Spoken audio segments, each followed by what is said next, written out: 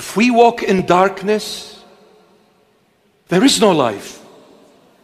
I will challenge all those who are multi, not only billionaires, but trillionaires.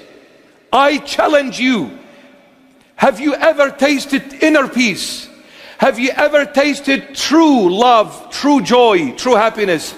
You walk and you're afraid of your own shadow. You put your head on the pillow and you don't know who's going to come and take that life away. You live in absolute secrecy. You don't want to be revealed. You don't want to be known because you've got too much at stake to lose. So do you call this life? Why don't you come and embrace Jesus and go out and walk down Smart Street, Fairfield? Or George Street in the city. Walk in the open and say who you are without being afraid. Without being afraid. There is nothing more precious than living, tasting, and feeling freedom. True freedom. True freedom. Finally, I'm free. That will only be made possible when Jesus becomes the crown of your head and your glory. When Jesus. It's the only way. This has got nothing to do with you're a Christian or not. It is Jesus. I've gone up there and I've gone down there. I've seen both heaven and hell. Hell is hell. Can't get any heller than hell. And heaven is stunning. I can assure every human being. I'm not benefiting from this. Uh, nothing. But I'm telling you, this is the truth. I can assure every human being. If you're going to end up in heaven, you will only meet Jesus, no one else. He's the only way. There is no Muhammad.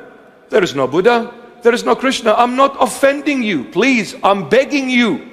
I'm kissing your feet. It is only Jesus. I've been there. This outfit doesn't change nothing. Doesn't.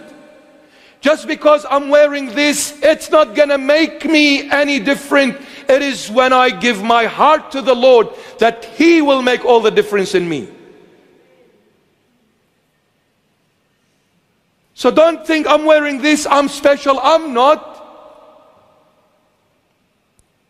You're special because God chose to make you special. Allow Him, please. I beg you, allow Him. Allow Him. Our times are evil. Allow the Lord. Your beginning journey in the world is glass clear, beautiful. But the end of your journey in the world is nothing but burning fire. You'll destroy yourself chasing the world.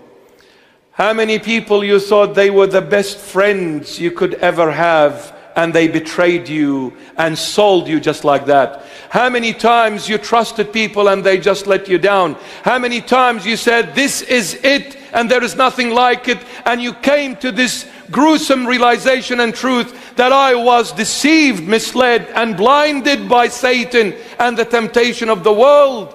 But when you come to Jesus, what you see is what you get. He is genuine. He is honest and truthful with you. When he says, I love you, nothing will change him. Even if you walk away, he will still love you. Even if you betray him, he will still love you. Even if you sell him like Judas Iscariot, he will still love you and cry for you. Because he's genuine. He is holy. Never changing. And cannot change. If God wanted to change, he can't. That's why he is holy. And we thank him for being the never changing God. We thank him for that.